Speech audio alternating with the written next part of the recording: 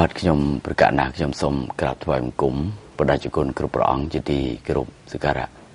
សូមលំអរកាយគោរពជំរាបសួរសម្ដេចលោកជំទាវជាទីគោរពលោកកំពង់ខ្ពស់និងសូមជម្រាបសួរអាដាមលោកជំទាវលោកលោកស្រីនាងកញ្ញាបងប្អូនរួមជាតិទាំងក្នុងនិងក្រៅប្រទេសជាទីគោរពនិងជាទីរាប់អានផងដែរបាទនៅក្នុងគណៈពេលថ្មនេះគឺនីតិវិភាគព្រឹត្តិការណ៍សង្គម ក៏តែងតែផ្ដល់ជូនជាមួយនឹងព្រឹត្តិការណ៍វិភាគថ្មីថ្មី ដើម្បីចែកជូនទៅដល់ជនរួមជាតិទាំងក្នុងនិងក្រៅប្រទេស ដើម្បីធ្វើការពិចារណា ជាមួយនឹងព្រឹត្តិការណ៍ដែលកើតមាននេះផងដែរពីព្រោះថាបច្ចុប្បន្ននេះដោយសារថាការបោះឆ្នោតជ្រើសរើសតំណាងរាស្ត្រកាន់តែគៀកកិតចិត្តមកដល់នេះ យើងឃើញថាអ្នកនយោបាយគ្រប់គណៈបកទាំងអស់ កំពុងតែធ្វើសកម្មភាពរបស់ខ្លួនយ៉ាងសកម្មក៏ប៉ុន្តែសកម្មភាពមួយចំនួនខ្លះរបស់ក្រមអ្នកនយោបាយមួយចំនួនហ្នឹងគឺជាសកម្មភាពញុះញង់សកម្មភាពបន្ទុចបង្អាក់ដល់ការបោះឆ្នោត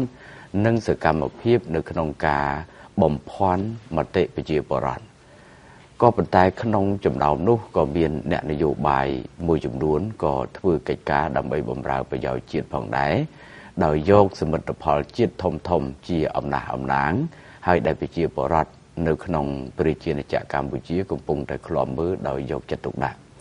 ប៉ុន្តែអ្វីដែលនីតិវិភាគព្រឹត្តិការណ៍សង្គមរបស់យើងនឹងលើកយកនៅចរិតរបស់អ្នកនយោបាយឬក៏សកម្មភាពក្នុងរយៈពេលប្រហែលខែចុងក្រោយនេះ ដែលអ្នកនយោបាយនៅក្នុងកម្ពុជាយើងនេះ កំពុងធ្វើនេះ ពីព្រោះថាវាមានសកម្មភាពខ្លះអាចនឹងធ្វើឲ្យបងប្អូនមួយចំនួន ច្រឡំជឿហើយក៏ជាមូលហេតុដែលនាំឲ្យខូចទៅដល់កិច្ចការសង្គមជាពិសេសគឺថាខូចទៅដល់អ្វីដែលជាការរីកចម្រើនលូតលាស់នៃសង្គមជាតិរបស់យើងបងប្អូនជ្រាបហើយថាការប្រកួតប្រជែងក្នុងការបោះឆ្នោតនេះអ្វីដែលប្រជាពលរដ្ឋខ្មែរយកជាកត្តាកំណត់នោះគឺទង្វើនិងសកម្មភាព គុណសម្បត្តិនៃការបម្រើប្រទេសជាតិគេមិនអាចជ្រើសរើសយកអ្នកនយោបាយណាមួយ ដើម្បីដឹកនាំប្រទេសគ្រាន់តែដើរសន្យាគ្រាន់តែដើរពោលពាក្យឲ្យពីរោះញុះញង់អុចអាលនោះទេ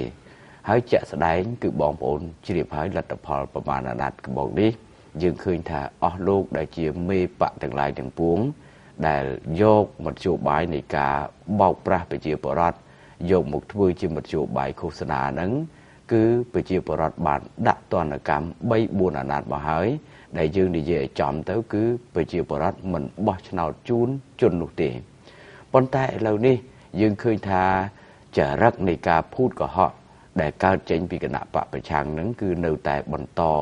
សកម្មភាពរបស់ខ្លួនដដែលដដែលដែលយើងរាប់បានថាជាសកម្មភាពរំខាន ទៅដល់អារម្មណ៍ប្រជាពលរដ្ឋក្នុងការបំពេញការងារអញ្ចឹងនៅក្នុងរាត្រីនេះផងដែរលោកបណ្ឌិតឈឹមផលវរុនក៏ត្រូវបាននេតិរបស់យើងអញ្ជើញលោកសារជាថ្មី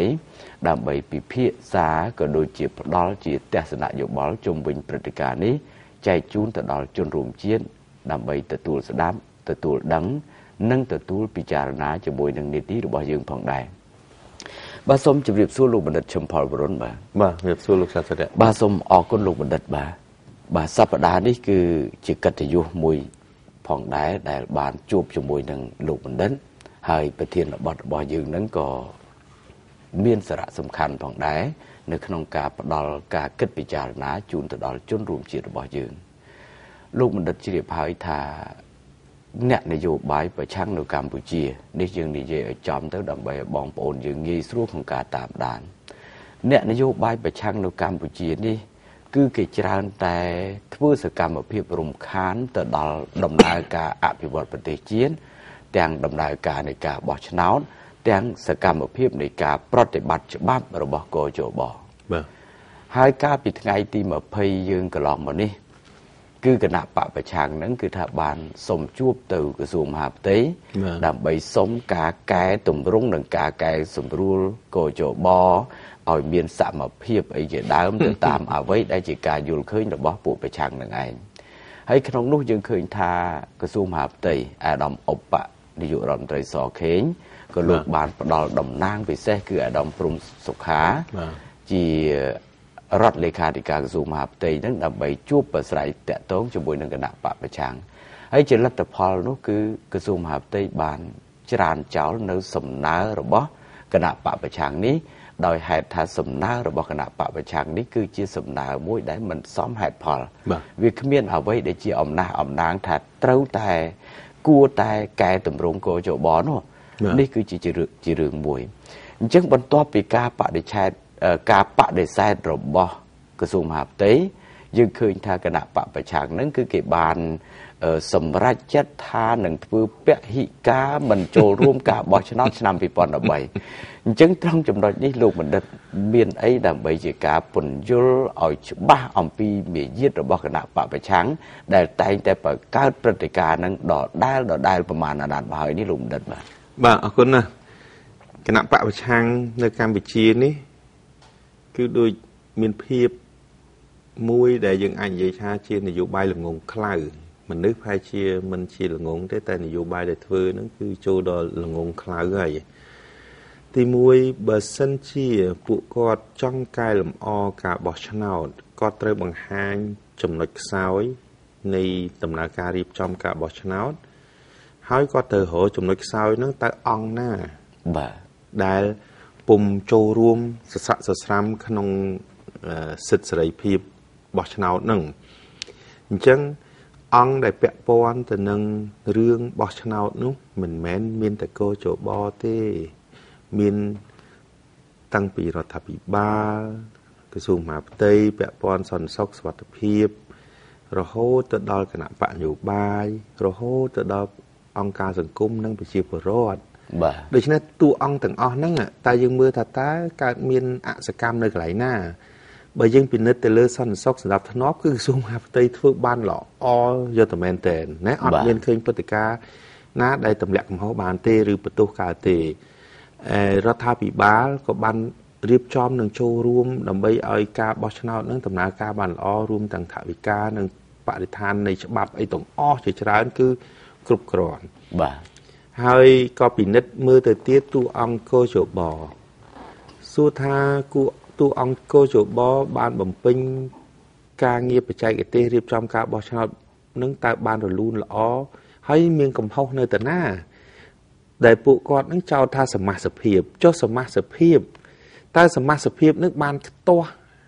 ដំណើរការរៀបចំបោះឆ្នោតដែរឬទេតើគណៈបព្វឆាំងបានរកឃើញកំហុសដែល ជាកំហុសដោយសារតែរឿងសមាសភាពកោជបដែរអត់បាទមកដល់ពេលនេះណាទោះបីគាត់តវ៉ាប្តឹងតាំងពីណាពីរីមកគឺគាត់មិនដែលបង្ហាញអំពីកំហុសឆ្គងដែលជាកើតឡើងដោយសារតែបុព្វហេតុនៃសមាជិកកោជបទេបាទអញ្ចឹងបានន័យថាអត់មាន រឿងណាមួយដែលអាចចោទប្រកាន់ថាដោយសារសមាជិកកោជបអញ្ចេះអញ្ចោះធ្វើឲ្យដំណើរការបោះឆ្នោតអត់ល្អអត់មានទេបាទចូលដល់នីតិវិធីវិញម្ដងមិញខ្ញុំនិយាយសមាជិកនីតិវិធីនីតិវិធីចុះឈ្មោះនិងពិនិត្យមើលឈ្មោះបោះឆ្នោតនីតិវិធីអឺបោះឆ្នោតលក្ខនឹងលក្ខសួរថាពួកគាត់ថាសាំញ៉ាំតែពួកគាត់មានបានគិតពិចារណាទេ សាំញ៉ាំនៅចំណុចណាបាទសំបីតើចុះឈ្មោះអង្កេតការបោះឆ្នោតហ្នឹងគឺនីតិវិធីកោជបមហាស្រួលណាស់រហូតដល់អង្គការខ្លះហ្នឹងដាក់បំពងលេខសិទ្ធិអង្កេតការរាប់ពាន់នាក់ដល់មកតែ100នាក់ក៏មាន គឺអត់មានគេដាក់កំហិតនឹងគៀបសង្កត់អីទេ ហើយដល់ពេលនីតិវិធីចុះឈ្មោះបោះឆ្នោតរបស់ប្រជាពលរដ្ឋការបរិឆេទ sẽ ធ្វើតាមច្បាប់ហើយមានកំណត់ច្បាស់លាស់ទៀតហើយរយៈពេលហ្នឹងវា គ្រប់គ្រាន់ហើយហើយចំណុចហ្នឹងសួរថាតើវាមានពេលចង្អៀតឯណាសំបីតើពាក់ព័ន្ធទៅនឹងលិចទឹក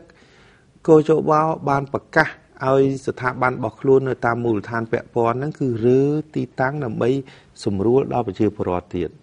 ដូច្នេះតើមានអីដែលសម្រាប់ចោតឥឡូវឲ្យគណៈបកប្រឆាំងយកអាបញ្ហាចោតនោះឲ្យចំមកមើលអត់ឃើញមានអ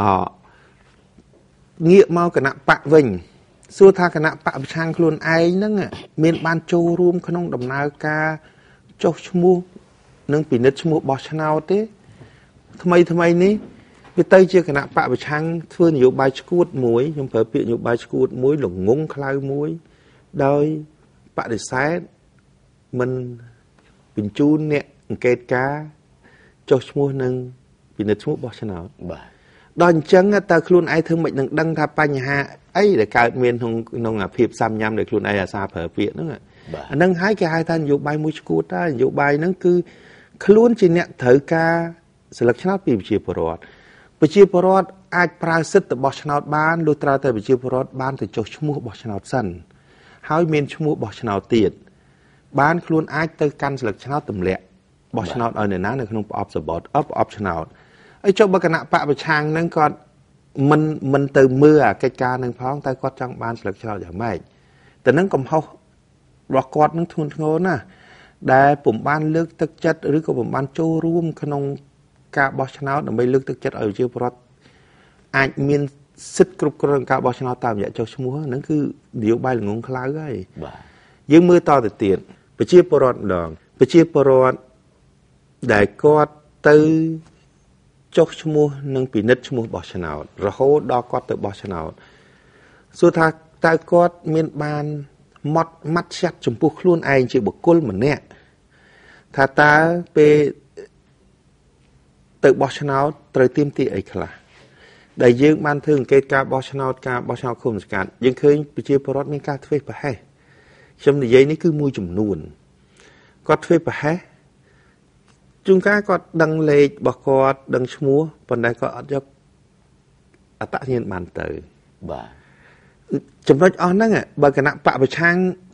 ចូលលើសុចរិតភាពគួរតែបញ្យលប្រជាពលរដ្ឋចូលរួមមិនថាតែគណៈបពប្រឆាំងត្រូវនេះទេកោជបក៏គេផ្សព្វផ្សាយហើយយើងឃើញមែនកណ្ដាស់ការផ្សព្វផ្សាយរបស់កោជបមានច្រើនហើយគណៈបកនីមួយៗក៏ដូចជាសង្គមស៊ីវិលក៏គេផ្សព្វផ្សាយ តែអភ័ព្វអីគណៈបកប្រឆាំងដែលជាអ្នកចង់បានស្លឹកឆ្នោតដែរមិនក៏មិនផ្សព្វផ្សាយត្រូវផ្សព្វផ្សាយទាំងអស់តើលក្ខណៈសម្បត្តិអីខ្លះឯកសារអីខ្លះត្រូវនេះគឺផ្ដើមចេញពីការចុះឈ្មោះពិនិត្យឈ្មោះហើយមួយទៀតខ្ញុំឃើញគណៈបកប្រឆាំងខូចគាត់នៅពេលដែលករណីខ្លះប្រជាពលរដ្ឋខ្លួនឯងគាត់អត់បានយកអត្តញ្ញាណបានទៅឬស្អីទៅគេយកអារឿងហ្នឹងទៅតម្លាក់កំហុសកោជប គេមិនព្រមគិតថានេះដោយសារតែប្រជាពលរដ្ឋម្នាក់ហ្នឹងគាត់ភ្លេចខ្លួនគាត់ឬក៏មិនយកចិត្តទុកដាក់ឬក៏អត់ដឹងអស់សេចក្តីណាប៉ុន្តែគាត់អត់ព្រមពិនិត្យមើលថាតើមន្ត្រីការិយាល័យបោះឆ្នោតគេបានគិតគូរទៅប្រជាពលរដ្ឋដែលភ្លេចហ្នឹងគេឲ្យទៅយកវិញតើបាទប៉ុន្តែអស់លោកទាំងអស់ហ្នឹងខូចគេមានអាល្បិចរបស់គេយើងមិនចាំបកស្រាយយើងស្គាល់ល្បិចហ្នឹងហើយគេឲ្យកាលណាមានបញ្ហាហ្នឹងទៅ គេយកអាករណីហ្នឹងទៅបំលែងដើម្បីចោទប្រកាន់កោជបតាមពិតរឿងនេះមិនមែនរឿងកោជបទេការបោះឆ្នោតរឿងធំបំផុតគឺរឿងប្រជាពលរដ្ឋខ្លួនឯងផងបាទតែហ្នឹងដែលគណៈបកប្រឆាំងអត់ព្រមយកបញ្ហាទៅសិក្សា មួយទៀតដែលគួរឲ្យអាម៉ាស់គណៈបកប្រឆាំងមិនដែលគោរពតម្លៃការងាររបស់ភ្នាក់ងារអង្កេតការគណៈបករបស់ខ្លួនទេភ្នាក់ងារអង្កេតការ គ្នាប្រចាំការមួយថ្ងៃពេញនៅពេលបោះឆ្នោតលទ្ធផលគ្នាទទួលស្គាល់រលូនល្អសញ្ញេទទួលស្គាល់ទាំងអស់គ្នាជាមួយនឹងមន្ត្រីកោយបតែ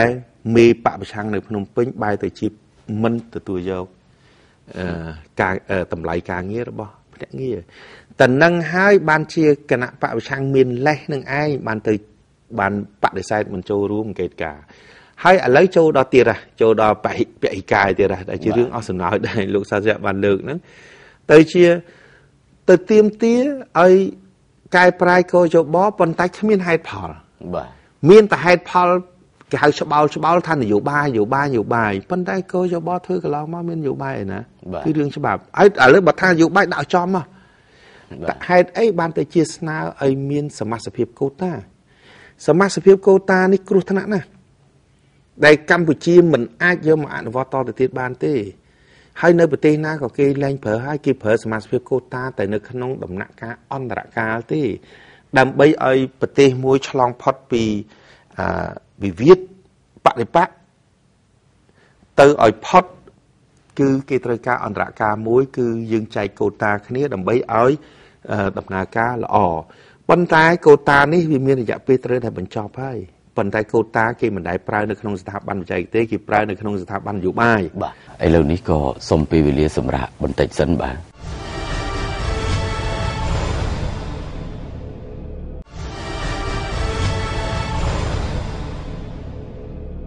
បាទបន្ទាប់ពីបានសម្រាប់បាញ់មិញនេះខ្ញុំបាទក៏នឹងផ្ដល់សំណួរជាបន្តជូនលោកបណ្ឌិតឈឹមផលវរុនបាទឥឡូវខ្ញុំចង់ឲ្យលោកបណ្ឌិតចាប់អារម្មណ៍ត្រង់ចំណុចនេះមួយ ដែលយើងឃើញថាបងប្អូនប្រជាពលរដ្ឋខ្មែរក៏ផ្ដោតអារម្មណ៍ទៅលើបញ្ហានេះដែរជាធម្មតាគឺគណៈបកប្រឆាំងហ្នឹងគឺតែងតែជំទាស់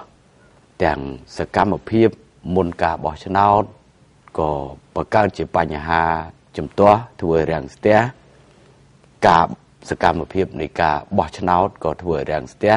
រួមជាមួយនឹងលទ្ធផលបញ្ចប់នៃការបោះឆ្នោតក៏ចេះតែបង្កើនជាបញ្ហា ហើយគេបានអះអាងថាមិនដំឡាភាពចេះមួយមិនដំឡាភាពចេះពីរអញ្ចឹងតាមដែលលោកបណ្ឌិតក្នុងនាមជាអ្នកធ្លាប់ចូលរួម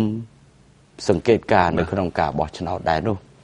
លោកបណ្ឌិតឃើញថាតើគណៈបកប្រឆាំងដែលចោតប្រកាន់គោជបនឹងដែលមានអំណះអំណាងអីដើម្បី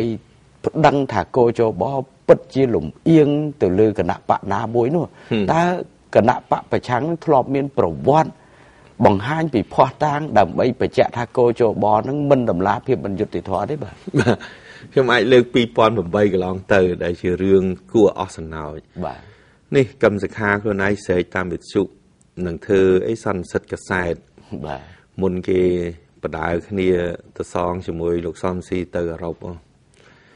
គេធ្វើសន្និសិទកសែតបង្ហាញអំពីភាពមិនប្រក្រតីដែលកោជប ប្រព្រឹត្តខុសគេចោទហ្នឹងណាបាទដល់ធ្វើ press conference ហ្នឹងទៅគេថាគេនឹងមានបង្ហាញករណីមួយមួយជាច្រើន ខាងយើងក៏បញ្ជូនមនុស្សទៅដែរបានថាកម្មសខាអាលិអាឡក់ធ្វើគ្មានដឹងមកទីទុយករណីដែលដែលគាត់ចោទថាមិនប្រក្រតីមានតែរឿងទូចតាច2 3តែគាត់និយាយនៅរ៉ាឌីយ៉ូមុននឹងថាដូចជួកន្លប់ចាក់ហ្មងពិភពលោកនឹងមួយបាទដល់ពួកយើងទៅ ខាងកសែតទៅ គឺអត់មានទម្ងន់ហ្មងអាភិបបងក្តីហើយមានមួយពីរពាក់ព័ន្ធរឿងឈ្មោះពាក់ព័ន្ធរឿងអីហ្នឹងហើយតែបន្តិចបន្តួចទេដល់ចឹងទៅយើងឃើញថាល្បិចគាត់ខូចដល់ពេលឥឡូវយើងថាគេងគាត់លាក់ដល់ពេលបន្ទាប់មកគេបដើគ្នាទៅសងទៅអឺរ៉ុបបាទដល់ទៅអឺរ៉ុបនេះម្ដងនេះអត់ឃើញឆ្លើយណាបាទចិត្តដល់បោះឆ្នោតអាណត្តិថ្មីអត់ដល់ទៅ មុននឹងឡើងយន្តហោះសន្យានឹងអូនាំជោគជ័យដល់ប្រជាពលរដ្ឋដើម្បីអារឿងការបោះឆ្នោតប្រឡំបកើអីគេនោះបាទស្រាប់មកដល់វិញចូលធ្វើការសភាចិត្តផុតអាណត្តិអត់ឮនិយាយសោះការទៅប្តឹងនៅនៅអឺរ៉ុបបាទហើយចំណុចហ្នឹងដែលយើងថាខូចនោះខូចនិយាយឲ្យខ្លីពួកគាត់នឹងចេះទេខ្លួនមុនបោះឆ្នោតនឹងអួតតែឈ្នះបាទ ដល់លទ្ធផលទៅវាចាញ់វាខ្មាស់គេដល់ខ្មាស់គេមិនដឹងយកអីលៀងមានតែយកអារបៀបឡប់នឹងមកលៀងហ្នឹងអារបៀបឡប់នឹងមកលៀងហ្នឹងឥឡូវអស់ប្រសិទ្ធភាពហើយបាទដល់លៀងចុះលៀងឡើងកាន់ត្រឡប់នយោបាយច្រើនយើងមើលពេលហ្នឹងមានន័យរត់ប្រសេកប្រសាយទៅប្រជុំសភាប៊ីមិនតាន់បាទណាហើយប្រសេកប្រសាយហ្នឹងគឺប្រសេកប្រសាយមែនខាងសំនឹងស៊ីហ្នឹងទៅមកប្រាវមុនទៅ3អ្នកក្រោយបោះកម្មសខាហ្នឹងប្រសេកប្រសាយនៅ នៅម្ដុំពេញហ្នឹងទាំងងំទៅដល់អត់អត់បានទៅដល់គេផងវាអញ្ចឹងដល់ឥឡូវចូលដល់ប្រសេកប្រសាយមួយបែបទៀតហ่ะទៅពឹងបរទេសអីណារឿងកោជបរឿងអីណាតើហេតុផលដូចលោកសាស្ត្រចោតសួរតើហេតុផលនៅតាណាបាទឥឡូវថាសមាសភាពតើសមាសភាពកតាសមាសភាពនឹងវាធ្វើឲ្យបាត់បង់ស្លឹកឆ្នោតរបស់ខ្លួនដែរអត់ព្រោះពួកគាត់នឹងសិតតែចោទថាគេលួចស្លឹកឆ្នោតណាបាទ ភាសានឹងទុច្ចរិតណា បើលួចស្លឹកឆ្នោតអ្នកបញ្ជាក់ឲ្យច្បាស់មកមើលលួចនៅមណ្ឌលណាការិយាល័យណាបាទដើម្បីយើងរកឃើញថាមានសមាសភាពចោលនៅក្នុងហ្នឹងនិយាយឲ្យអស់ហ្នឹងទៅបាទតែបើខ្លួនគាត់ទៅចោតរកសមាជិកថាសមាជិកនៃរចនាសម្ព័ន្ធកោយោបនឹងវាអត់មានអ្នកដែលលួចស្លឹកឆ្នោតនោះតែអ្នកឯងគិតមិនបាទអញ្ចឹងបានថាសរុបមកវិញចំណុចទៅនេះគឺជាចំណុចមួយដែល អ្នកនយោបាយខ្មែរគួរតែបញ្ឈប់នៅអាគំនិតគេហៅថាទុច្ចរិតអាក្រក់ជួជាតិបែបនេះបាទយើងខ្មែរនៅពេលដែលប្រទេសយើងបានសុខសន្តិភាពហើយនេះយើងក៏គួរតែចាប់ដៃគ្នានាំគ្នាកសាងជាតិបំរើជាតិហើយចាត់ទុកការប្រកួតប្រជែងតាមគោលការណ៍ប្រជាធិបតេយ្យរឿងឈ្នះចាញ់នេះ ជារឿងធម្មតាទៅ ពីព្រោះថាបើយើងពិតជាអាណិត ប្រជាបរតស្រឡាញ់ប្រទេសជាតិយើងពិតប្រកបមែននោះយើងគួរតែដាក់ជោគវាសនានៃសង្គមជាតិរបស់យើង រួមជាមួយនឹងជោគវាសនាដែលខ្លួនចង់ធ្វើធំធ្វើតូចរបស់យើងនេះទុកឲ្យប្រជាពលរដ្ឋអ្នកសម្រេចហើយត្រូវតែគោរពទៅតាមឆន្ទៈរបស់ប្រជាពលរដ្ឋហើយបើយើងគិតតែបង្កើតនៅភាពទំនើងបង្កភាពអញ្ញេអញ្ញៃអាណាធិបតេយ្យក្នុងសង្គមជាតិបែបនេះ គឺជាក្រមអ្នកនយោបាយដែលគ្មានតម្លៃទេសម្រាប់សង្គមជាតិជាពិសេសអស់លោកអ្នកប្រឆាំងទាំងឡាយទាំងពួងនឹងសូមពិចារណាផងឥឡូវនេះលោកបណ្ឌិតនៅមានចំណុចមួយទៀតដែលគួរចង់សើចលោកបណ្ឌិតធ្លាប់បានលើកជារឿយរឿយហើយហើយប្រជាពលរដ្ឋខ្មែរទូទាំងប្រទេសទាំងក្នុងនិងក្រៅប្រទេសក៏បានជ្រាបផងដែរនៅចរិតដែលគួរឲ្យស្អប់ខ្ពើមមួយរបស់អ្នកនយោបាយប្រឆាំងបាទឲ្យតែមានស្អីមិនតិចគឺគេពឹងបរទេសហើយ ដូចមុននេះលោកបណ្ឌិតបានលើកហើយគេថាកោចបអត់តម្លាភាពគេមានភ័ស្តុតាងច្រើនដែរគេថាមានតាំងពីស្នាមមេដៃមានតាំងពីភ័ស្តុតាងគេថាអូប្រមាណពាន់សន្លឹកបាទគេនឹងស្ពាយយកទៅបង្ហាញបរទេសដើម្បីដាក់សម្ពាធលើរដ្ឋាភិបាលអញ្ចឹងមកទល់ថ្មនេះដោយអត់មានលឺសូអីទាំងអស់ហើយអ្វីដែលយើងលឺសូលឺសូទៅរឿងពួកប្រឆាំងនឹងចង់ឈ្នះតែប៉ុណ្ណឹងចង់ឈ្នះតវ៉ាចេះតវ៉ាចុះប៉ុន្តែអា គោលបំណងធំដែលគេវិច្ចសម្ពាយទៅក្រៅប្រទេសជាមួយសំរងស៊ីនឹងវាអត់មានឃើញអីអញ្ចឹងបានថានេះគឺជាការខលខូចហើយមួយវិញទៀតឥឡូវនេះការកែតម្រង់កោចបនឹងទៀតគេថាគេនឹងដាក់បន្ទុកធ្វើយ៉ាងណាឲ្យបរទេសនឹងគឺថាគៀបសង្កត់រដ្ឋាភិបាលខ្មែរនឹងឲ្យដាច់ខាតត្រូវរកែតម្រង់កោចបនឹងហើយប្រហែលថ្ងៃបែរជាមកជជែកជាមួយក្រសួងមហាផ្ទៃហ៎ ហើយឥឡូវនេះបន្ទាប់ពីក្រសួងមហាផ្ទៃបដិសេធដោយលោកបណ្ឌិតមានប្រសាសន៍អញ្ចឹងឥឡូវនេះគេមានកម្មវិធីមួយទៀតគេនឹងស្វែងរកជួបមន្ត្រីដឹកនាំគណៈបកប្រជាជនមន្ត្រីជាន់ខ្ពស់គណៈបកប្រជាជន ដើម្បីកែតម្រង់កោចបហ្នឹងអញ្ចឹងភាពលបឡែនេះខ្ញុំចង់ឲ្យលោកបណ្ឌិតជួយបញ្ជាក់មើលដែលគេហៅថាចាប់នេះចាប់នោះមិនឈ្មោះត្រង់ណានេះអញ្ចឹងលោកបណ្ឌិតយល់ឃើញយ៉ាងម៉េចអាកំណត់បៃលុកបៃលករបស់ពួកប្រឆាំងហ្នឹងបាទ ទីមួយយើងឃើញថាពួកគាត់មិនហ៊ាននិយាយថាគាត់បរាជ័យទេរឿងទៅអំពាវនាវបរទេសមកដាក់សម្ពាធខ្មែរនោះទីមួយជារឿងមួយអាឡែអាឡក់អត់ដឹងខ្លួនឯងជាតំណាងរាស្ត្រឲ្យខ្មែរបាត់ទៅហើយបាទប៉ុន្តែគេនៅតែមោទនភាពស្អីក៏បរទេសប៉ុន្តែឥឡូវនឹងបរទេសគេមិនមិនចង់ស្ដាប់ទេគេធុញនឹងស្ដាប់ទៅទៀតដែលខ្ញុំបានតាមដានហ្នឹងគឺទៅអាឡេអាឡូប៉ាចសាចនៅក្រៅប្រទេសនឹងមិនដឹងជាស្អីយកលុយខ្មែរយកទៅប៉ាចសាចនៅខាងក្រៅបាទ ឥឡូវគាត់នៅអន្តរជាតិគេគិតថា អ្នកមានបានដឹងសមត្ថភាពដ៏កំសោយរបស់អ្នកក្នុងការប្រកួតប្រជែងខ្ញុំដឹងសំណួរអស់ហ្នឹងតើអ្នកមានដឹងដឹងថារបៀបធ្វើនយោបាយរបស់អ្នកគ្មានគូប្រកួត ដោយសារតែអ្នកអន់បំផុតនោះទេគេមានទៅសួរទៀតថាអ្នកមានដឹងភាពអន់របស់អ្នកឯងរហូតដល់ដល់អ្នកគ្មានសមត្ថភាពខ្លាចជាគូប្រកួតជាមួយគណៈបកដឹកនាំរដ្ឋាភិបាលហ៎បាទ គេចោទសួរចឹងទៀតបានន័យថាពួកគាត់ធ្វើនយោបាយនឹងអត់បង្ហាញអំពីសមត្ថភាពជាគូប្រកួតផងហ្នឹងហើយបែរទៅជាទៅពឹងអន្តរជាតិមកដាក់សង្កៀបដាក់គំនាបរហូតដល់អត់ដឹងនយោបាយអន្តរជាតិសប្ថ្ងៃនឹងគេសហប្រតិបត្តិការជាមួយនឹងរដ្ឋាភិបាលកម្ពុជានឹងក្នុងកិច្ចការមិនតែកិច្ចការក្នុងប្រទេសទេរហូតដល់កិច្ចការនៃផលប្រយោជន៍សន្តិសុខតំបន់និងសកលលោកផងហើយកិច្ចការជាច្រើនទៀត គណៈបព្វឆាំងអត់ដឹងអត់ដឹងនយោបាយអន្តរជាតិមិនតិចហើយឥឡូវនេះប្រហែលជាត្រូវមងដូចខ្ញុំដាក់សំណួរមិញឲ្យខ្ញុំលឺសូពីខាងក្រៅហ្នឹងគេដាក់សំណួរអញ្ចឹងដឹងណាបានរត់មករកក្រសួងមហាផ្ទៃបាទហើយរត់មករកក្រសួងមហាផ្ទៃហ្នឹងសេលិខិតហ្នឹងក្រសួងមហាផ្ទៃឆ្លើយអស់ហើយជាលាយលក្ខណ៍អសរហ្នឹងអំពីហេតុផលហ្នឹងវាគ្រប់គ្រាន់ហើយតែគេថាមិនអស់ចិត្តទេចង់មកបញ្យល ដល់មកបញ្យលគេបើកផ្លូវឲ្យមកបញ្យលទៀតដល់បញ្យលហ្នឹងវាដដែលដែលគេទទួលយកអត់បានពីព្រោះរឿងដដែលវាអត់វាអត់ពាក់ព័ន្ធទៅនឹងដំណើរការបោះឆ្នោតអសកម្មតាណាមួយផងហ្នឹងបាទអញ្ចឹងហើយបានជួបហើយបក្សែទៀតណាដល់ឥឡូវនេះចាប់ផ្ដើមលេងល្បិចទីទុយអីណាមួយទៀតណាទៅចង់ជួបអឺថ្នាក់ដឹកនាំឬមន្ត្រីគណៈបកប្រជាជនកម្ពុជាឥឡូវយើងសួរមើលទាំងអស់គ្នា ហេតុអីបានអ្នកចេះវិលក្បាលមករកខ្មែរអ្នកសារភាពឲ្យត្រង់សិនហ្នឹងបាទសារភាពហេតុអីបានអ្នកវិលក្បាលមករកខ្មែរដូចឲ្យរឿងថាតិចទៀតលោកប្រធានសំរងស៊ីនឹងមកជាមួយអន្តរជាតិបាទឥឡូវចាំមើលមើលតិចដល់ពេលហ្នឹងដល់អត់មកបានវិលត្រឡប់មកខ្មែរវិញណាគេគួរតែធ្វើនយោបាយទៅជែកគ្នាជាមួយខ្មែរគ្នាឯង គុំដល់ថ្នាក់បរាជ័យជាមួយបរទេសបានរត់ងាកក្បាលមករកខ្មែរវិញគឺអ្នកឯងហួសពេលហើយហើយទៅនឹងមិនមែនថាយើងចេះតែថាទេខ្លួនសិតតែនិយាយថាដើម្បីជាតិដើម្បីជាតិតែពេលណាក៏ទៅដល់អន្តរជាតិមិនដែលឃើញជាមួយជាតិសោះឥឡូវគេសិតតែយកគំនាបអន្តរជាតិហើយទាំងការវិលត្រឡប់ទុនដិតមកកម្ពុជាវិញណា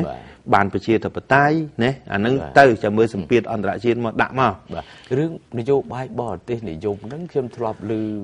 ប្រសាសន៍របស់លោកសំរងស៊ីផ្ទាល់ដែលលោកបាននិយាយដោយខ្លួនគាត់គាត់ថាការវិលត្រឡប់របស់គាត់មកកម្ពុជាក្នុងពេលឆាប់ឆាប់នេះ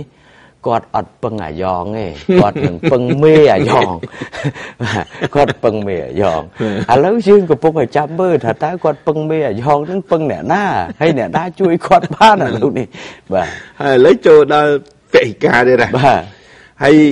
ខ្ញុំចេះនឹកឃើញពួកគាត់នឹងកាលដំបូងបហិការនៅក្នុងសភាណាយើងគិតណាអានឹងគឺប្រពៃណីនយោបាយល្អល្អណាបាទអន្តរជាតិតិចទៀនច្រើនសារណាខ្ញុំដឹង ការខ្ញុំធ្លាប់ធ្វើការនៅសភាក៏គេតិចទៀនច្រើនណាស់គេថាសភាមិនមែនជាកន្លែង ដែលគេបោះឆ្នោតឲ្យអ្នកហើយអ្នកមកធ្វើនយោបាយអឺខាងក្រៅសាវៀនទេអញ្ចឹងពហិការមានន័យថាអ្នកកំពុងតែបោះបង់ភារកិច្ចរបស់អ្នកទៅវិញទេបាទដល់ចុងក្រោយមាននឹកឃើញ ថ្មីកាលឆ្នាំទៅណារឿងអីគេថាអីសភាលែងមានគ្រប់120នាក់ អញ្ចឹងអស់សុពលភាពជាសភាអូគេនាំគ្នាដកចេញប្រមាណអ្នកដើម្បីឲ្យនៅក្រោម120បាទហើយគេថាបាត់បង់ហើយអន្តរជាតិប្រកាសលែងជួយលែងគ្រប់គ្រងព្រោះសភាហ្នឹងសភាអសុពលភាពអធម្មនុញ្ញអីរបស់គេហ្នឹងបាទតែមកដល់ថ្ងៃហ្នឹងវាអត់ឃើញអីសោះនេះនឹងអធម្មនុញ្ញនៅតាណាគេយើងខំបញ្យលអស់ហើយឲ្យអស់លោកនេះមានការយល់ដឹងខ្លះអត់ទេទៅទៅទឹងទឹះអាលែអាឡក់លេលើតែឯងហ្នឹងទៅដល់ឥឡូវមើល រដ្ឋសភាដែលគេខំខំលេងលបែងដើម្បីឲ្យសភាធ្លាក់នៅក្នុងអធម្មនុញ្ញភាព120អ្នកស្អីគេនោះបាទឥឡូវមានស្ទះសភាណាសភាប្រជុំតាបាទហើយតំណាងរាជគណៈបកប្រឆាំងប្រមាណហ្នឹងទៅប្រជុំគេដែរតើនេះមិនមិនអត់ទាំងអស់រមងទៅជមើមើលតើសភាគេប្រជុំកើតអត់តើអធម្មនុញ្ញភាពនៅតាណាបើអត់យល់អំពីចំនួន120យ៉ាងតិចនៃការបង្កើតសភាទេយកមកមកវាយលុកចូលនៅក្នុង ដំណើរការសភាគឺខុសហើយហើយឥឡូវអស់ពីរឿងលេងអាល្បិចអីណាដកខ្លួនចេញដើម្បីឲ្យនៅក្រោម120ចូលដល់រឿងបោះឆ្នោតបាទព្រោះបោះឆ្នោតចិត្តមកដល់ឥឡូវពហិការមើលហ៊ានទេគុំមកធ្វើលេងអាល្បិចប្រឆោតណាបាទហើយពួកគាត់លេងអាល្បិចប្រឆោតជាមួយរាជាមួយម្ចាស់ឆ្នោតគាត់លេងអាល្បិចប្រឆោតត្រីចូលលងបាទ ថ្មីថ្មីថ្មីថ្មីអូសិតផាត់ឡើងលងតែសិតអង្គភាពចាស់ទាំងអស់ឥឡូវចូលដល់ប្រឆោតមួយបែបទៀតណាប្រឆោតបរទេសផងប្រឆោតខ្មែរផងគឺស្អីពហិកាឥឡូវសាកសាកឲ្យក្លាហានមើលបាទក្លាហានពហិកាមើលបាទតើអាណត្តិបោះឆ្នោត2013នេះអាណត្តិទី5នេះតើកម្ពុជាឆ្លងផុតរហូតទៅដល់2018អត់សាកបាទ បើក្លាហានសាកទៅឲ្យប្រមូលគ្នាពហិការទៅបាទប្រជាធិបតេយ្យមិនមែនស្លាប់ដោយសារអំពើពហិការរបស់អ្នកនយោបាយអញ្ចឹងទេគ្មានប្រជាធិបតេយ្យណាគ្មានការអវត្តប្រទេសណាងាប់ដោយសាររឿងពហិការនយោបាយទេគ្មានដាច់ខាតហ្មងទៅរកទៅលើកឧទាហរណ៍ប្រទេសណាទៅបាទបើវារលាយប្រជាធិបតេយ្យរលាយអភិវឌ្ឍរលត់រលាយរាំងស្ទះវាមានតែសង្គ្រាមការបែកបាក់ជាតិ ហើយការអុចអាលឲ្យវឹកវរអាណាធិបតេយ្យទេមិនមែនប្រជាធិបតេយ្យហើយនឹងអភិវឌ្ឍអលុតអលាយដោយសាររឿងពហិការនយោបាយឡេឡនទេអញ្ចឹងបានថារឿងពហិការឬក៏មិនពហិការរបស់គណៈបកប្រឆាំងនេះវាជាសិទ្ធិសម្រេចរបស់គណៈបកប្រឆាំងខ្លួនឯងទេបាទមិនបាច់ចាំមក និយាយរបៀបគម្រាមឬក៏ផ្ដាល់ជាសារមកគណៈបកប្រជាជនកម្ពុជា ចង់និយាយថាយើងអត់មានពេលក្នុងការគិតអារឿងអ្នកឯងពហិការមិនពហិការទេជាសិទ្ធិសម្រេចរបស់អ្នកឯងបើអ្នកឯងយល់ឃើញថាគង់តែចាញ់ដដែលគង់តែចាញ់ឆ្នោតដដែលឆ្នាំ2013ហ្នឹងវាចាញ់ហើយហើយខ្ញុំបញ្ជាក់ថាអស់លោកចាញ់ហើយមិនបាច់សង្ឃឹមទេមិនយាតបែបហ្នឹងគឺចាញ់ហើយបាទគឺចាញ់ហើយ អញ្ចឹងបើអស់លោកគិតថាចាញ់ហើយវានាំតែអាប់អោនគេឈ្មោះទេពីព្រោះអ្នកឯងសន្យាសកម្មជនរបស់ខ្លួននេះ4អាណត្តិមកហើយធ្វើឲ្យអ្នកទាំងអស់នោះអស់សង្ឃឹមខ្សោះឈាមបាទខ្សោះឈាមហើយអ្នកទាំងអស់នោះគឺកាប់បំពង់រងចាំទឹកភ្លៀងអាបំពង់នឹងឡើងពុកឡើងផុយហើយអត់ទាន់បានទឹកភ្លៀងមកដំណក់ទេអញ្ចឹងបើអ្នកឯងយល់ឃើញថាវាគង់តែបរាជ័យដែរអ្នកឯងមិនបាច់ទៅចូលប្រកួតទេវាអន់ហើយសូមកុំភ្លេចថា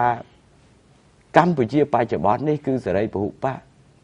បកប្រឆាំងក៏មិនមែនមានតែអ្នកឯងដែរបកប្រឆាំងច្រើនណាស់វាយមកបដុងត្រូវ80សប្តាហ៍នេះអញ្ចឹងអ្នកឯងអត់មានសំខាន់អីមិនតិចទេឬមួយក៏អ្នកឯងយល់ឃើញថាអ្នកឯងអត់ចេះរកស៊ីទេក្រៅពីមុខរបរភូតផណាលោកមនិតអត់ចេះរកស៊ីអីទេ អាចូលរួមទៅគីឡូបានបូកគ្នាទៅវាបាន10កៅអីអីគ្រាន់បានប្រាក់ខែសភានឹងចំប្រពន្ធកូនអានឹងគឺជាការផ្ដល់មិនមែនជាអនុសាសន៍ទេគ្រាន់តែប្រាប់ថាឲ្យឲ្យជ្រាបទៅឲ្យដឹងខ្លួនយើងផងឲ្យដឹងថាខ្លួនយើងនឹងវាខ្សោយដល់កម្រិតណាបាទជួយលោកនិតបាទដល់ហ្នឹងហើយដែលចង់ជំរាបថាព័ត៌មានដែលយើងទទួលបានថ្មីថ្មីទៀតនេះអាស្អីគេរួមគ្នានឹងឬសូដូចអត់តន់ស្រួលឡើយទេអត់ទុកចិត្តគ្នាផងបាទ ហើយដល់អត់ទុកចិត្តគ្នាហើយទៅខំធ្វើអាស្អីអីណាដូចឯងអស់ចាហើយមកពហិកាតិចតិចលោដោយលោកសាស្ត្រនិយាយអញ្ចឹងបើដឹងថាវាមិនកើតហ្មងទៅពហិកាទៅក៏វាល្អដែរបាទហើយខ្ញុំបញ្ជាក់យ៉ាងខ្លីយើងបានធ្វើការកណនាកណនាហ្នឹងវាអាចមានលំអៀងតិចតួចទេក៏តែខ្ញុំបានធ្វើការកណនាច្បាស់ណាគណៈបកប្រជាជនតឯងទេ ហើយក្រៅពីគណៈបកប្រជាជនរួមគ្នាមកប្លុកចុះក៏គណៈបកប្រជាជនអាចយកសម្លេងឆ្នោតនៅឆ្នាំ2013បានរហូតដល់តិចបំផុត81អាសនៈណាហើយបងប្អូនជាប្រវត្តិគេថា81អាសនៈក្នុងចំណោម123គឺភាគច្រើនដាច់ខាតហើយគឺដឹកនាំប្រទេសបានដដែលបាទដូច្នេះ កុំនិយាយថាអ្នកឯងបោកគ្នាឯងពីរនាក់ហ្នឹងដែលឥឡូវកំពុងអត់ទុកចិត្តគ្នាទៅបោកទាំងអស់ទៅឲ្យតែគណៈបកណាមិនមែនគណៈបកប្រជាជនកម្ពុជាទៅនិយាយអស់ទៅខ្ញុំយុទ្ធផលបោកនៅអស់ទៅខ្ញុំជឿថាថ្នាក់ដឹកនាំគណៈបកប្រជាជនកម្ពុជាក៏កណនីឃើញដូចគ្នាដែរឥឡូវនេះក៏សូមពេលវេលាសម្រាប់បន្តិចសិនបាទ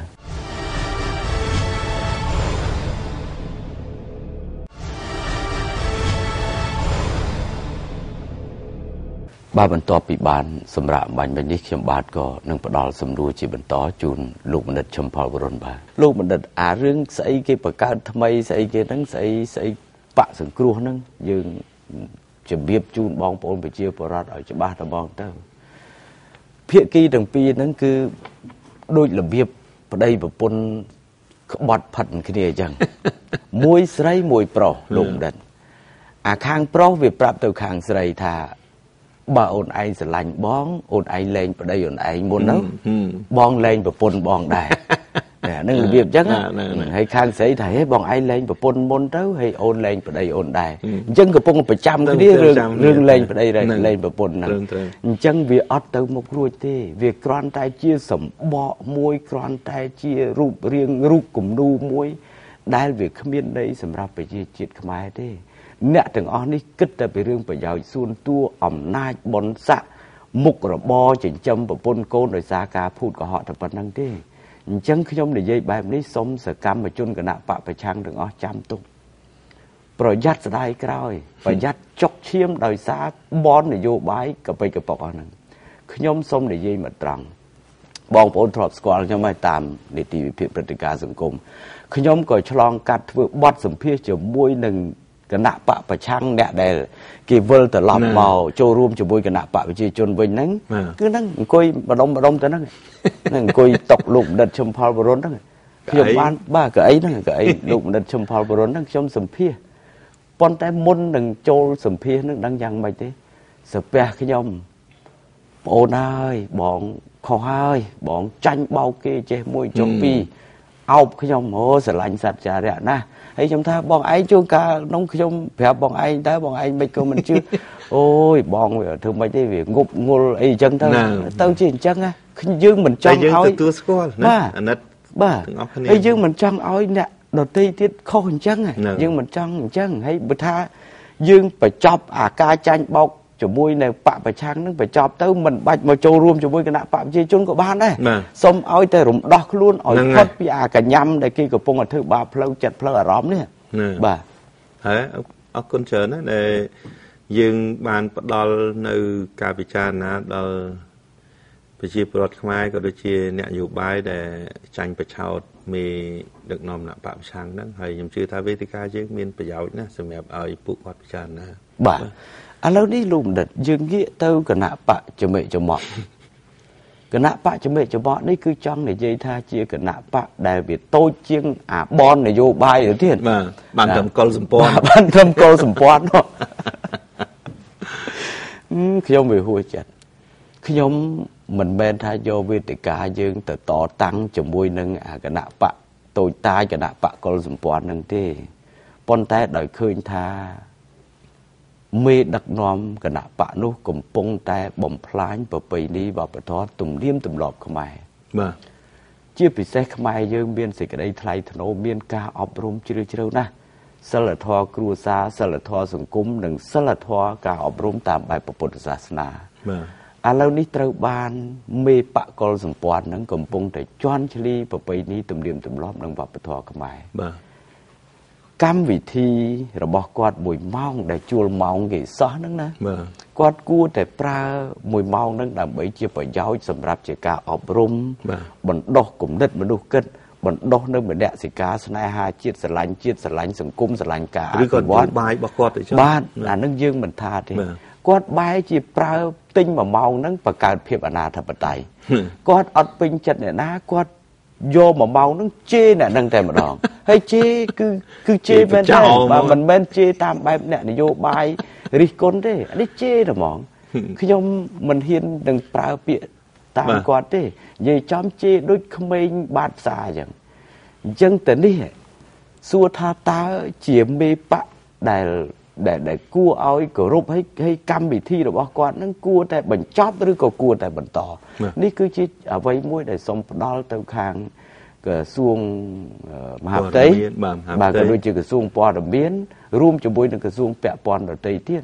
ទាំងសាសនាប្រសង់ក៏គាត់ជេរប្រមាណសូម្បីតែតំណាក់តំណងស្អិតរមួតរវាងមេដាបៃតា ក៏គាត់បំបែកបំបាក់ឲ្យកូននឹងគឺអត់បាច់ស្រឡាញ់ម្ដាយទេ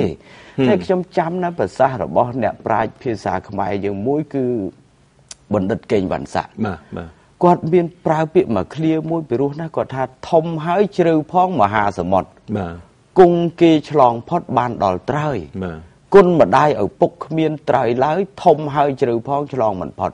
ដែលមានន័យថាគុណម្ដាយធំជាងមហាសមុទ្រទៀតអញ្ចឹងអ្នកនោះ ទៅជាប្រមាថកូននឹងអីសិតបកើតមកដោយសារតែចង់ស្រួលខ្លួនឯងអីវាវាវាអសិលធម៌ពុនពេកអញ្ចឹងចំណុចនេះលោកបណ្ឌិតមានអីដើម្បីជាការពន្យល់និងជម្រាបជូនដល់ប្រជាពលរដ្ឋបាទសូមជើញលោកការពិតមេកុលសម្ព័ន្ធហ្នឹង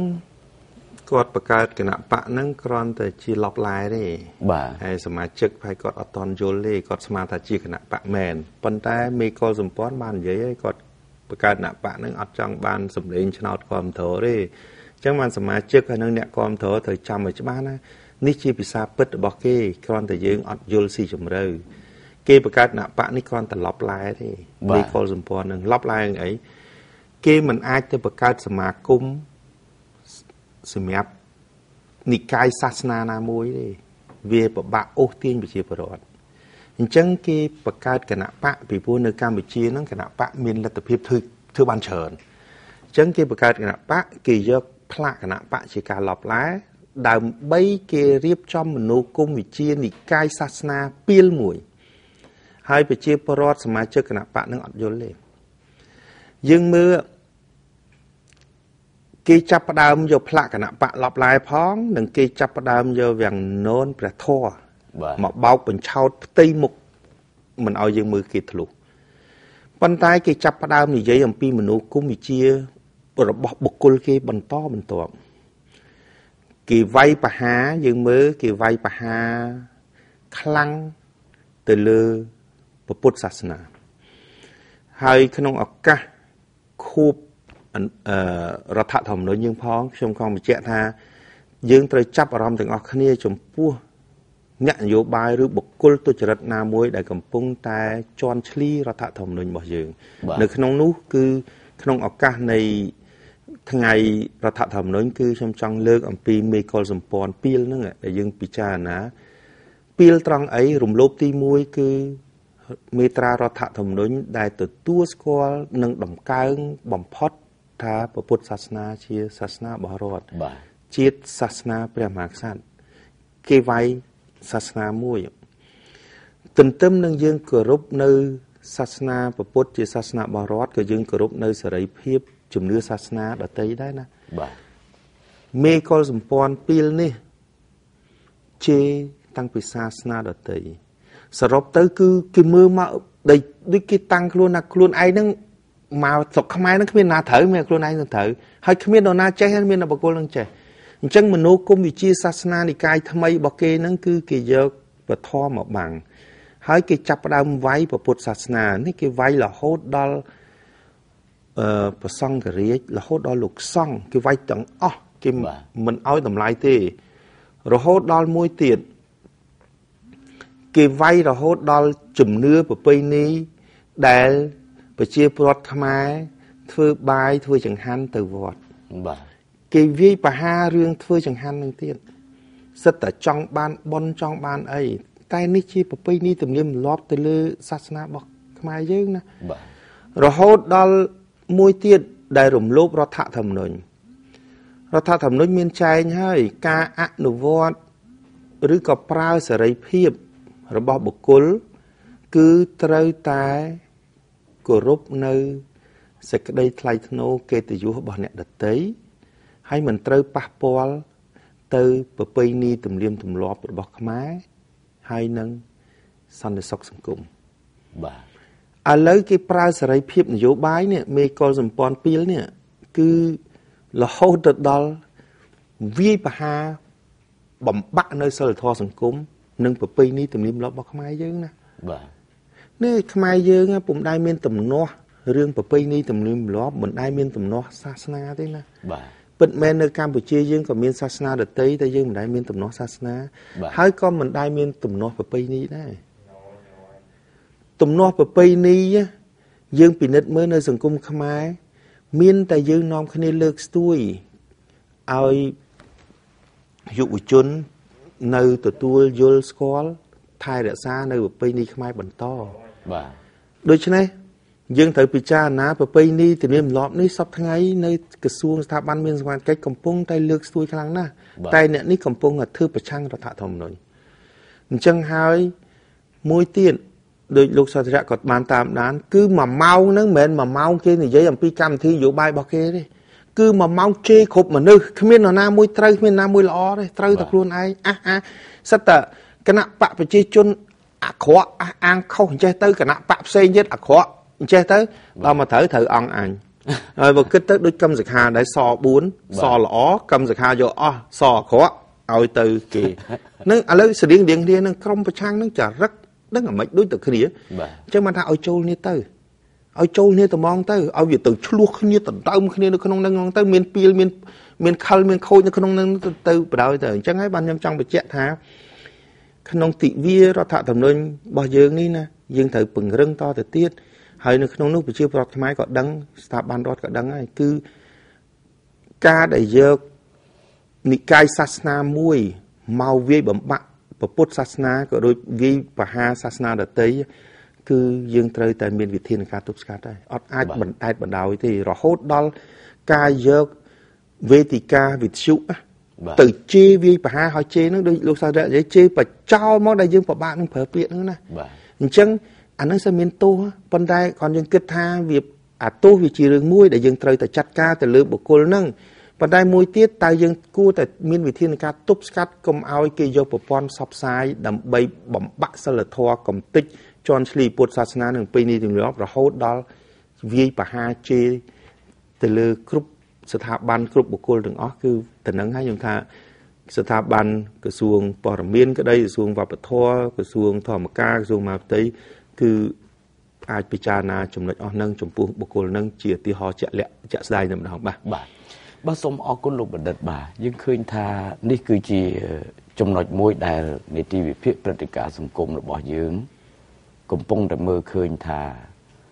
បុគ្គលមេនយោបាយមេបកនយោបាយកុលសម្ព័ន្ធហ្នឹងគាត់កំពុងតែដើរខុសផ្លូវហើយ ដើរខុសផ្លូវនេះគឺខ្ញុំចង់និយាយថាបើខុសតែ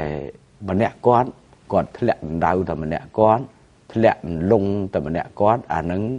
ខ្ញុំមិនជាខ្វល់ខ្វាយអីប្រហែលទេប៉ុន្តែអានេះគាត់កំពុងតែដឹកដៃគេនឹងនាំគេឲ្យទៅធ្លាក់ដៅជាមួយគាត់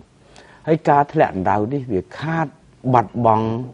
នៅគេឈ្មោះកិត្តិយសនៃជាតិរបស់យើងផងដែរដោយដែលលោកបណ្ឌិតមានប្រសាសន៍អញ្ចឹងខ្មែរ បើទោះបីជាអតីតកាលរបស់យើងពីមុនមកយើងធ្លាប់ប្រកបបច្ចៈគ្នា មានចម្បាំងរាំងជុលស៊ីសាច់ហត់ឈាមគ្នាយ៉ាងណាក្តីនោះក៏ប៉ុន្តែទីបំផុតខ្មែរអាចរកដំណោះស្រាយស្វែងរកសុខសន្តិភាពដោយខ្លួនឯងបានអញ្ចឹងបទពិសោធន៍ដ៏ជូរចត់នេះគួរណាស់តែអ្នកនយោបាយគ្រប់និន្នាការនយោបាយទាំងអស់គិតពីបញ្ហាជាតិជាធំ បើតាំងខ្លួនជាអ្នកបកកើតគណៈបក ឬក៏ជាមេបកក៏គួរប្រើប្រាស់នៅក្រមសិលធម៌ឲ្យបានថ្លៃថ្នូរកុំរបៀបគេហៅថាធ្វើជាជនពាលាអាវាសែយកការជេរបញ្ចោធ្វើជាអាវុធអានឹងរបៀបដូចថារបៀបបងប្អូនយើងដែលភេទទី3ពួកខ្ទើយណាណាដោយរបៀបពួកខ្ទើយអញ្ចឹងគេថាឯងតែចូលមកអញខ្ញៅឥឡូវអានឹងរបៀបអញ្ចឹងយកដូចថា ចង់យកជើងឯកខាងជេរបចោដើម្បីបំបាក់មកគេអត់ធ្វើអញ្ចឹងទេអ្នកនយោបាយគេបង្ហាញហេតុផលពន្យល់ឲ្យប្រជាពលរដ្ឋស្ដាប់តាមសម្រួលហើយប្រជាពលរដ្ឋជាអ្នកវិភាគបើសិនណាជាបងប្អូនមើលឃើញថាលោកណាល្អអាហ្នឹងគឺគេគេនឹងជឿជាក់ទៅតាមនឹងហើយគេមិនដែលប្រើប្រាស់មធ្យោបាយជេរបចោអាវ៉ាសែចឹងទេនេះជាចំណុចមួយហើយឥឡូវនេះជាចុងក្រោយលោកបណ្ឌិតយើងនៅសល់ពេលតិចតួចដែរ ដោយសារតែអ្នកនយោបាយប្រឆាំងនៅកម្ពុជានេះវាក៏គាត់ពួកគាត់នឹងកំពុងតែបង្កើតនូវភាពអនាធិបតេយ្យយ៉ាងក៏ក្រឹកក៏ក្រែងមកឥឡូវនេះគេយកគេយកគេតាំងខ្លួនជាជើងឯកអាណាធិបតេយ្យហ្មងពួកប្រឆាំងក៏ពោលគិតថាឲ្យតែអ្នកណាប្រកែជេរអ្នកណាប្រកែបកើតរឿងអ្នកណាបកើតចលាចលបកែខាងបកើតចលាចល គឺអានោះជាជើងឯកខាងបពប្រឆាំងជាជើងឯកខាងប្រឆាំងពួកប្រឆាំងគេយល់ឃើញអញ្ចឹងលោកដិតអញ្ចឹងដោយសារតែភាពច្បោកច្បល់បែបនេះអានឹងខ្ញុំចង់និយាយថាច្បោកច្បល់វល់វែកតែតែក្រមប្រឆាំងទេសម្រាប់គណៈបកប្រជាជនយើងអត់ដែលគិតរឿងនេះទេអ្វីដែលសំខាន់គឺយើងកសាងជាតិបើទោះជាយើងធ្វើផ្លូវធ្វើស្ពានធ្វើសាលារៀនពួកប្រឆាំងយល់ឃើញថាជាការខុសឆ្គងក៏យើងអត់ខ្វល់ដែរសំខាន់យើងធ្វើដើម្បីប្រយោជន៍ប្រជាពលរដ្ឋ អញ្ចឹងដោយសារភាពវល់វែកនៃក្រមបនប្រឆាំងបែបនេះខ្ញុំចង់ឲ្យលោកបណ្ឌិតជួយផ្ដល់ជាអនុសាសន៍ឬក៏ការពន្យល់ខ្លីមួយជូនទៅដល់បងប្អូនប្រជាពលរដ្ឋជៀសវាងការភ័ន្តច្រឡំច្រឡំជឿអាពួកបែបពីលាអាវ៉ាសែនឹងលោកបណ្ឌិតបាទអរគុណណាស់បងប្អូនប្រជាពលរដ្ឋត្រូវកុំភ្លេចខ្លួនសប្តាហ៍ថ្ងៃនេះក្រមប្រឆាំងប្រើវិធីបឆោត2បាទមួយបឆោតបែបត្រីជូនលង មួយទៀតបឆោតបែបវាំងននព្រះធរបាទបឆោតនេះសិតតែបឆោតបែបទុច្ចរិតទេអញ្ចឹង